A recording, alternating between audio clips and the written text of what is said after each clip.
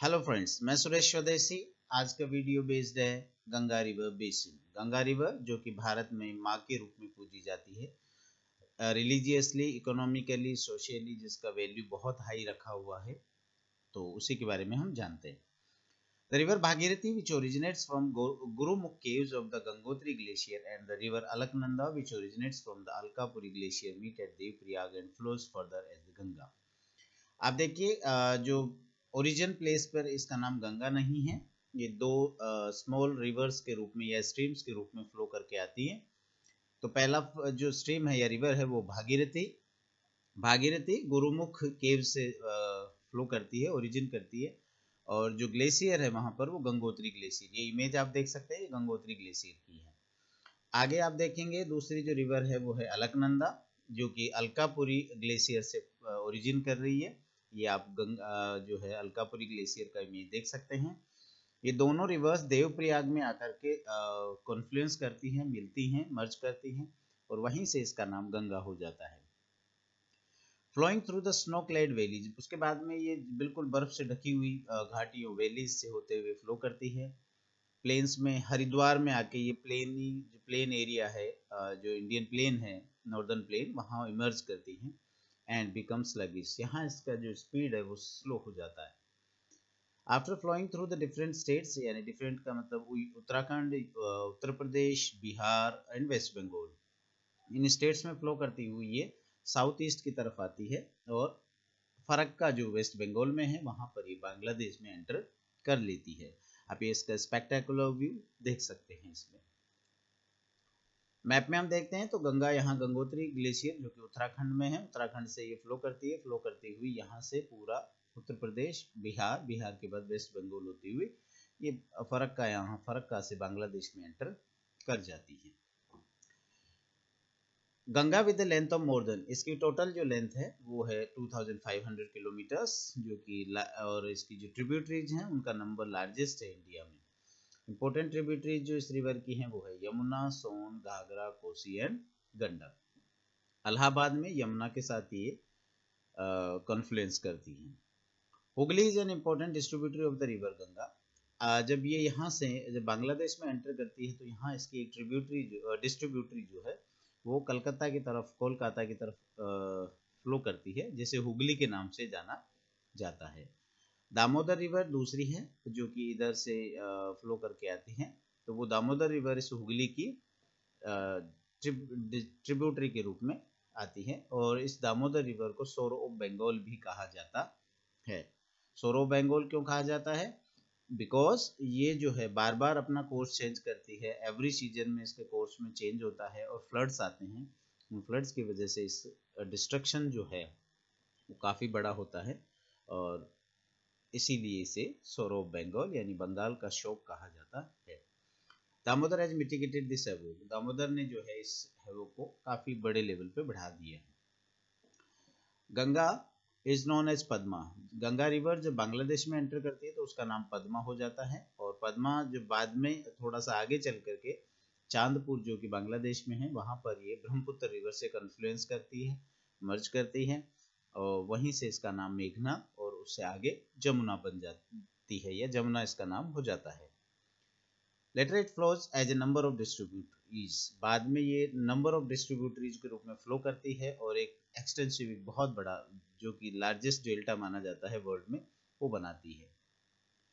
ये आप देख सकते हैं, इसके डेल्टा जो है, उस डेल्टा की इमेजेस आप देख सकते हैं कि बहुत सारी डिस्ट्रीब्यूटरीज के रूप में ये फ्लो करती हैं और अल्टीमेटली बे ऑफ़ बंगाल में मर्ज कर जाती है। ये स्पेक्टेकुलर व्यू सुंदरबन डेल्टा आप देख सकते हैं यहाँ से।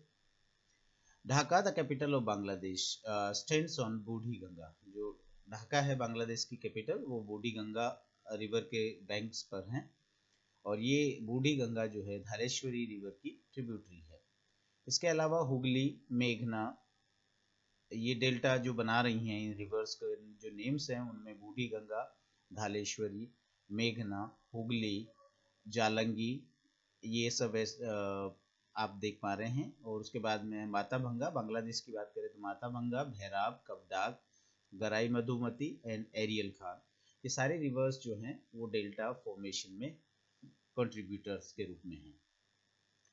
आगे सीबोर्ड साइड डेल्टा देखते हैं तो एक vast stretch of tidal mangrove forest वहाँ पाए जाते हैं। जो फॉरेस्ट पाया जा रहा है सुंदरबन डेल्टा में, उसे मैंग्रोव ट्रीज स्पेशली ग्रो करता है, जिसे सुंदरी वन भी कहा जाता है।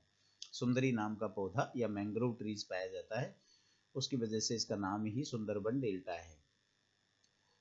द रीजन इस रीजन को सुंदरबन कहा गया है और ये बांग्लादेश और इंडिया दोनों कंट्रीज़ इसको प्रोटेक्ट करते हैं कंजर्व कर रहे हैं, इसके कंजर्वेशन के लिए प्लान बनाए हुए हैं और दोनों ही कंट्रीज़ का जो पोर्शन है उनको यूनेस्को वर्ल्ड हेरिटेज साइट के रूप में डिक्लेयर किया गया इंडिया का 1987 में और जो बांग्लादेश में जो पोर्शन है सुंदरबन डेल्टा का, वो जो है 1997 में UNESCO world heritage site declare किया गया। आप यहाँ इमेज देख सकते हैं, ये सुंदरी वन जो है, सुंदरी जो ट्री है या मैंग्रोव जो ट्रीज हैं, उनका ये इमेज है। और दूसरा जो इमेज यहाँ आप देख पा रहे हैं, ये महात्मा गांधी ब्रिज है, जो कि गंगा रिवर के ऊपर ही बनाया गया है, बिहार में, पटना और हाजीपुर को जोड़ते हुए कनेक्ट करते हुए।